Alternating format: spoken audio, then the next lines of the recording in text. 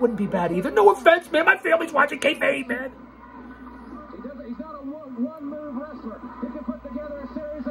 Here we go. It doesn't get any better than this.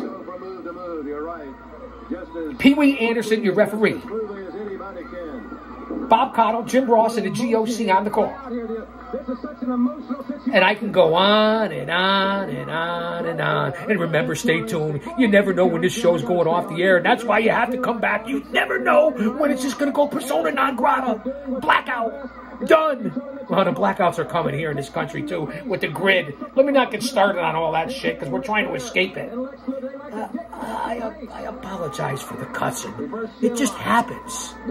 Arn Anderson with the front uh, chin lock, the, the, rear chin lock on Jimmy Jam Garvin. How about when Jimmy Jam was with uh, Precious Sunshine down a World Class Championship Wrestling, the two blonde gals, when you guys know that Sunshine was his cousin and Precious was his wife, or was it vice versa?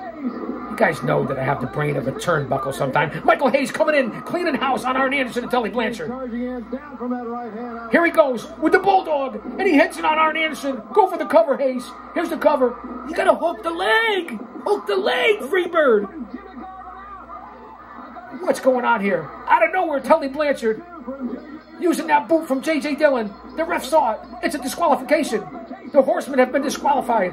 The Freebirds get the win.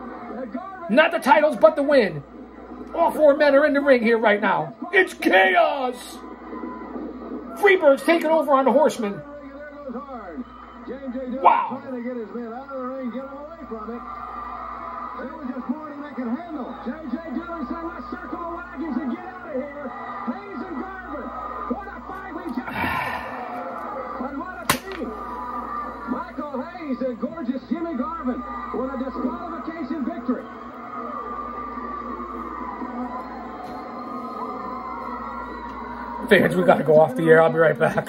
Don't you dare miss it.